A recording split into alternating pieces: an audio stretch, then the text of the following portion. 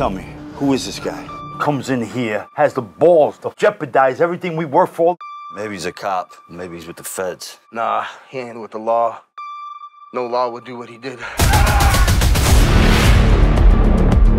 The only time I worried about him was the first time I met him.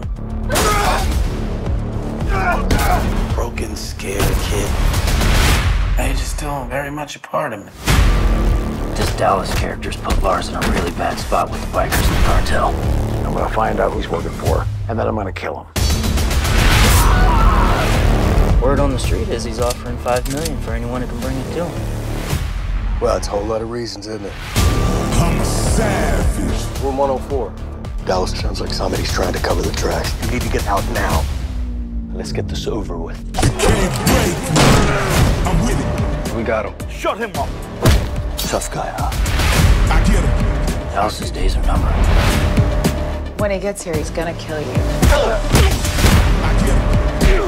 Where's Lars? I don't know. where. Ready to. I'm on.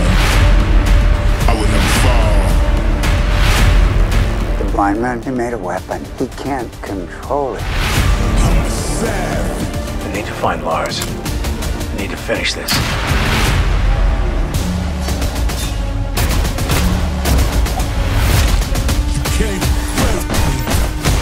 We are going to have to take control.